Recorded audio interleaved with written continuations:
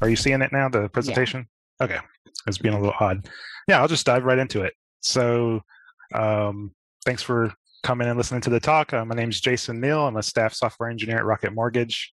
And today we're going to try to build a micro front end architecture in five minutes. And obviously, since I only have a few minutes, I have to make a lot of assumptions. So I'm going to assume you've at least heard of micro front end and understand those concepts that others have already talked about. Uh, and I'm also obviously going to have to move very fast, but don't worry, all the content and all of this code is thoroughly documented on GitHub. So I'll send a link to that after the talk.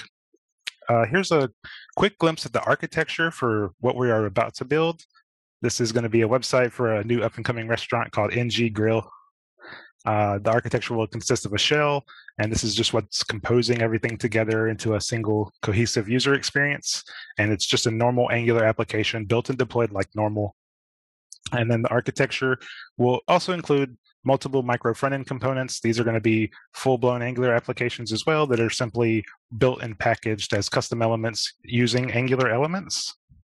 And so let me dive into the terminal first. Let's see. Let me reset what I've got going on here. So first off, there's some stuff I did have to run before the talk. Uh, you'll see here, if you're seeing the terminal, um, I did generate a Angular workspace called ng grill. And then I went ahead and generated four application projects called shell, menu, order, and locations. Um, that takes a while, so I went ahead and did that before the talk.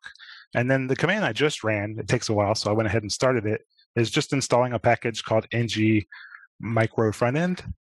Um, this package is just going to help abstract away a lot of complexity and help simplify the approach. But obviously, you don't have to use this package. I built the package, like full disclosure, uh, but it's entirely optional. You can do all of this natively. I'm just using it because I like it and it helps me save time, which is especially important when you've only got five minutes. So as, as this finishes up, um, you'll notice it's doing a lot of work. Like it's got you know schematic support, so it's generating a lot of code for us automatically. Uh, I'm going to add one more application called an email fragment. Um, this is just going to be like a smaller micro front end component that we're going to work with. And then inside of our menu component, I'm also going to generate a, a breakfast uh, component, a lunch component, and a dinner component, just so I can show you a little bit more of a complex micro front end application and that has multiple routes within the overall application. All right, that actually all finished a lot quicker than normal. So I think I'm ready to jump into the code. The first thing I need to do is go into the app router module for the menu application. We created those uh, components for breakfast, lunch, and dinner. So I just need to create those routes. So you can see I've, I've copied and pasted that in here, but this is just creating breakfast, lunch, and dinner routes in that component. And then the only other change I'm really going to make here is to each of the app component template files just to clean it up and get rid of all this boilerplate code. So I'm just going to copy and paste in a couple of things. Again, all this code is documented and you can see this all after the talk. So the locations component is going to be a little bit more complex because it's going to bring in that emails fragment here um, so that it'll actually have two micro front ends displaying on one page. And then the menu component is the probably most advanced one. It does the same thing. So it also brings in the emails component, um, but then it also has these links to that breakfast, lunch, and dinner um, subroutes here, the subcomponents. Uh, and I think the last micro front end that I need to update the template on is the order, the order micro front end. And then last but not least, I'm going to adjust the shell template just to get rid of some of this boilerplate uh, code that Angular generates just to help you kind of see what's going on here. And so normally at this point, uh, I would run like yarn start or npm start, uh, but that takes a few minutes when you've got five applications that you're running at the same time. So I went ahead and did that beforehand. So let me jump over to that and show you what I've got.